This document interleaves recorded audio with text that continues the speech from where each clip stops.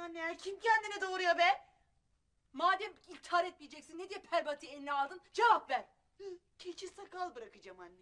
Aptal daha bıyığın yok senin. Nereden sakal bırakacaksın ha? Ha, demek bıyığım çıkmış olsa sakal bırakmama izin vereceksiniz kız anne öyle mi? Ha bravo valla.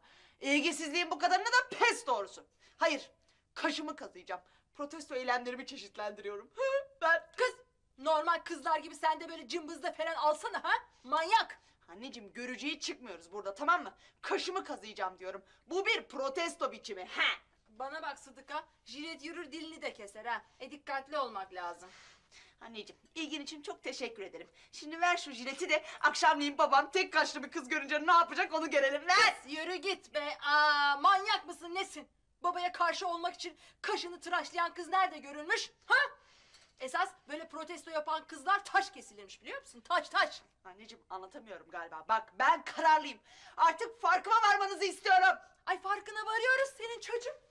Güzel kızım benim, yavrum benim. Heh, işte ben de bu zihniyete karşı eylem koyuyorum. Yuvarlak laflara karnım tok benim. Ha, bütün kabiliyetsiz siyasetçiler gibi sıkışınca sen bizim kızımızsın, canımızsın, biriciksin. Yalan mı kız ha? Ben anlamam. Işık söndürme elimi benim gözümü açtı. Oynama Sıdıka şunda. Çek elini rahat dur. Kimden ne öğrendiğin ortada. Muhalefetten öğrenip bize satıyorsun değil mi? Allah'ıma çok şükür şu evin içine bir gün bile siyaset getirmedim ben ya. Yok canım. Babamdan dayak yerken bayrağa sarılıp vurma bey vurma, bayrak aşkına vurma diyen kimdi o zaman O he? başka. Bıraksaydık da öldürse miydi yani herif bizi? Bayrağa sarıldık da bir iki tane tekme tokat eksik yedik. Tamam işte ben de onu söylüyorum anlamıyorsun ki. Ha, bütün ucuz politikacılar gibi vatan, millet, Sakarya diye bağırınıp mukaddes değerlerin arkasından saklanıyorsunuz. Kapmışsın sen de numarayı. Ha! Ulan sirk hayvanı mı? Ben numara kapacağım el alemden. Bu benim kendi numaram bir de. Aa bak hayvan dedin de aklıma geldi. Ne oldu bizim kelebek kostümü diktin mi? Aa, insanda akıl mı bıraktın salak? Tabii onu söylemeye geliyordum. Bir baktım aynanın karşısında kaşını doğuruyor. Tabii diktim. Hadi gel. Bir defa giydireyim sana. Ama hevesini al. Ondan sonra hemen çıkar. Biliyorsun kelebeklerin ömrü kısa olur. Yürü. Evet. Boy boy boy boy. Boy boy boy. Boy boy boy boy. Salak seni be! Kimsin lan sen? Ne, ne oluyor ya? Benim ben lan Sıdıka.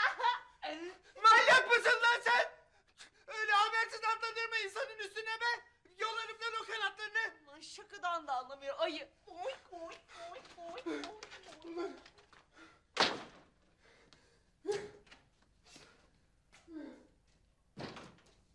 Daytona yarış pistindeki lastiklerin üzerine bilgi edinmek için Pirelli lastikleri Sıdıka, Bob Jack'le beraberiz. Bob Jack, tanıştığımıza memnun oldum.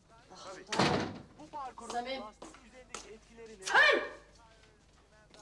Ya Samim ya, Samim ya. Ay Sıdıka'yı gördün mü? Tavana bak oradadır belki. Niye dalga geçiyorsun sen ha? Niye dalga geçiyorsun? Nerede kardeşin? Ne bileyim ben en son 70 kiloluk pembe bir kelebek gördüm. Bak 70 kilo deme kardeşine. Yani koca bir sezonun Bahçeye mi çıktı acaba bu? Lastiklere Nereye çok fazla yük biniyor. Tabii otomobillere ve pilotlara da. Rahatlık Vay başımıza gelen. Şşt! Sıdıka! Tüh, Allah cezanı vermesin. Ay bak hiç duyuyor mu beni? Şşt! Oğlum! Küçük! Şu kanatlı kıza bir seslen de bana bakıversin hadi. Sıdıka dedim. Kız ev kanadı onlar dışarı çıkılmaz. Ya aman tamam. Bakkala kadar gidip bir yoğurt alıp geleceğim. Üstümde takılı unutmuşum. Boş ver. Bana bak. O kanatlarla bir adım daha atarsan seni eve almam. Çabuk gel buraya. Samim. Çabuk koşunu getir buraya. Şu kelebeği. Kanatlı kaltak. Gerçekten de kelebeklerin ömrü bir günlükmüş be günlük. Annem nostaljik 23 Nisan kanatlarımı saat 19 itibariyle attı. Yine de bu 23 Nisan benim için geç kalmış bir çocuk bayramı oldu. Yalan söyleyeyim, hakikaten bir insan olarak neşe doldum. Bir gün süreyle başbakan olsam belki bu kadar sevinmezdim. Keşke insan hep çocuk kalsa. Keşke kelebeklerin ömrü daha uzun olsa.